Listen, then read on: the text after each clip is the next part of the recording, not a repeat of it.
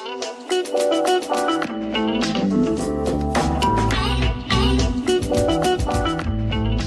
cái thời điểm bắt đầu vào những ngày đầu năm mới 2019 này, cũng đồng nghĩa với việc chiếc iPhone 3GS của Apple đã được tròn 10 năm tuổi. Trong hơn 10 năm vừa qua, Apple đã chiếm lĩnh và đi vào tiềm thức con người mặc định ở các sản phẩm cao cấp, sang trọng và thể hiện đẳng cấp. Và hôm nay mình sẽ trên tay lại một sản phẩm hay còn gọi là một ông cụ để xem thử trong 10 năm vừa qua thì nó đã đạt được những thành tựu gì nhé. Và chúng ta cùng nhau bắt đầu video thôi nào.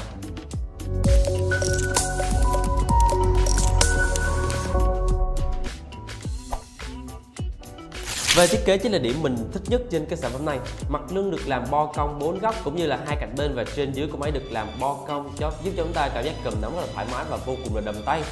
Cộng thêm cả việc kích thước màn hình là 3,5 inch mà khi đó Steve Jobs gọi đây là tỷ lệ vàng của màn hình mà khi chúng ta có thể thao tác bằng một tay hay chỉ bằng một ngón cái rất là dễ dàng mà không cần phải mất là nhiều thao tác Mặt lưng chúng ta sẽ có cái cụm camera chính lên tới là 3,15 megapixel f2.8 và có khả năng quay video lên tới là 480p 30 fps. Và chúng ta vẫn sẽ có một cái logo quả táo cắn dở ở đây được làm bóng lên và rất là dễ bị chảy xước. Và chúng ta vẫn sẽ có dòng chữ iPhone và chúng ta vẫn sẽ có được cái in logo dung lượng bộ nhớ trên cái sản phẩm này. Và cái sản phẩm này thì chúng ta vẫn sẽ có một cái dung lượng bộ nhớ lên tới 16GB và ngoài ra chúng ta vẫn sẽ có một số thông tin về nhà sản xuất cũng như là nơi sản xuất của chiếc iPhone này ở phía bên dưới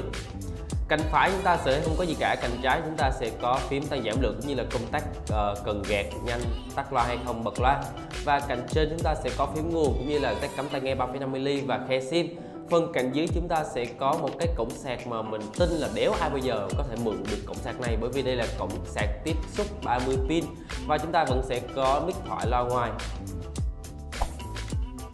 Về màn hình thì hmm, có vẻ như là chiếc máy đã được quăng quật khá nhiều nên là bây giờ cái màn hình nó hỏng mẹ nó rồi. Thì tuy nhiên chúng ta vẫn sẽ có một cái kích thước là 3,5 inch độ phân giải là 320 x 480 pixel thì màn gỗ đừng hỏi. Tuy nhiên ở thời điểm bây giờ thì màn hình như vậy đã là quốc xuất sắc rồi về cấu hình thì máy được trang bị con chip mạnh mẽ đến nỗi mà GSM Arena, một trang thông tin công nghệ phải nói là không hề biết được cái thông tin về con chip của sản phẩm này. Tuy nhiên chúng ta vẫn sẽ có con chip có xung nhịp lên tới 600 MHz. GPU được trang bị PowerVR SGX 535 và bộ nhớ RAM lên tới là 256 MB một con số khá là khủng. Nói chung trải qua 10 năm thì Apple đã có quá là nhiều sự thay đổi từ mọi thứ về mặt lưng nè, thiết kế màn hình đến phím home và cả jack cắm tai nghe 3.5mm và thay đổi luôn cả thiết triết lý hoàn hảo của Steve Jobs. Dưới thời Tim Cook, các sản phẩm Apple ngày càng bị mất cân bằng hơn. Ngay cái việc đặt tên của các sản phẩm cũng khiến cho chúng ta vô cùng hụt hẫng khi bỏ mất con số 9 và thay vào đó là đổi chữ số thay qua chữ số La Mã để gọi tên sản phẩm. Và có vẻ như là sự thất bại của Apple lớn nhất trong năm 2018 đó chính là đã bị Huawei vượt mặt vươn lên vị trí top 2 hãng sản xuất điện thoại lớn nhất trên thế giới. Tuy nhiên nói qua cũng phải nói lại, Apple vẫn sống sót vì nền tảng iOS của họ. Họ tự hào về con chip dòng A mà khi cả hai cùng kết hợp tạo nên một cái Apple một sự cuốn hút khó tả mà khiến cho mức giá của các sản phẩm iPhone ngày càng tăng lên qua từng năm và người mua vẫn không ngần ngại bỏ ra số tiền hàng ngàn đô để có thể sở hữu các sản phẩm đến từ Apple. Ok, vậy là vừa rồi cũng đã trên tay lại một sản phẩm huyền thoại đã hơn 10 năm tuổi của Apple, đó là chiếc iPhone 3GS